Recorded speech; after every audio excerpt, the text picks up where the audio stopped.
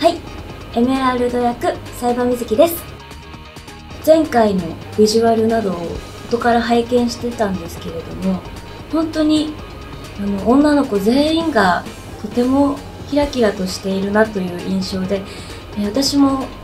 この役今日この姿に初めてなってみて私自身今まであんまりやったことないようなビジュアルではあるのでこれからあの稽古をしていく中であのメラルドという役をどんどんどんどん深めていって素敵なキャラクターにしていけたらいいなというふうに思っております。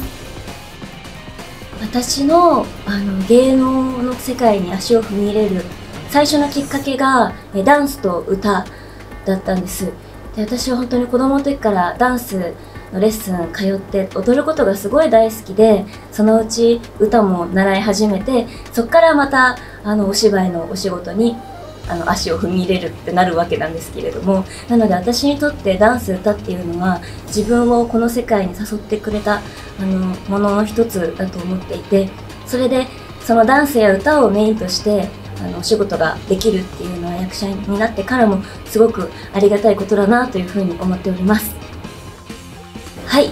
改めましてエメラルド役サイバー水木です、今回初めて参加させていただきます、え、初めましての方もいらっしゃると思うんですけれどもあのみんなと仲良くなって全員で素敵な作品に仕上げられるように頑張りますので皆さんもお楽しみにしててください。